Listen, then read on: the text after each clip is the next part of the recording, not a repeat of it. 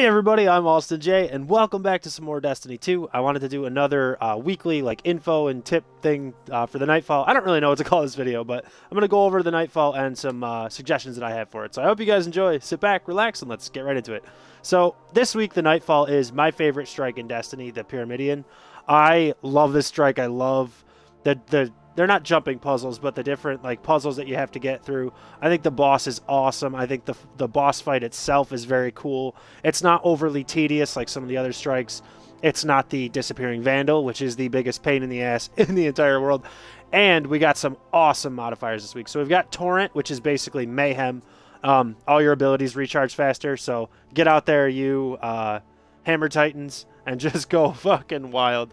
Um, and then we got Time Warp Zero Hour, which is a new um, modifier that we haven't had before. So we're going to get a set amount of time. Um, I don't know how much that time is, but I'm going to jump into the strike and show you guys just so we can figure that out together. Um, I'll knock out a few tips for you guys for weapons that I think we should use and stuff like that. Okay.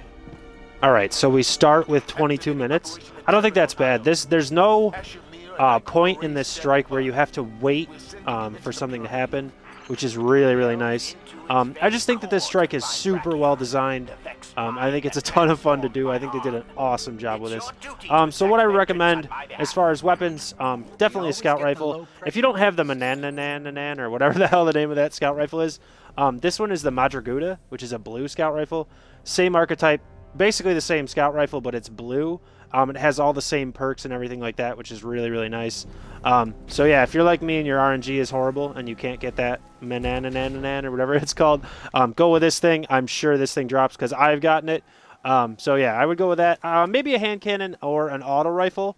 And then as far as classes, I really think it doesn't matter this week. I mean, I think with the the ability recharge, I think that's like going to make everything a lot easier. You can see how fast I get my grenade back.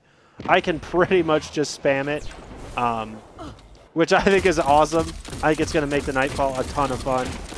Um, so yeah, I just, I, I, I figure I'll do these short videos um, once a week for you guys, pretty much always on Tuesday afternoons, um, just to go through the Nightfall quick and uh, offer some recommendations. So I really hope you guys enjoyed this video. If you did, punch that like button like Mike fucking Tyson, and I will catch you guys in the next one.